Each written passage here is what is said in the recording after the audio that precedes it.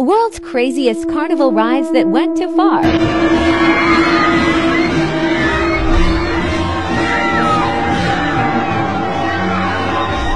contraption is a dandelion. So we tried to compensate for the, the weight and size differential. No idea which track it was going to take. Unpredictability was an important aspect of our work.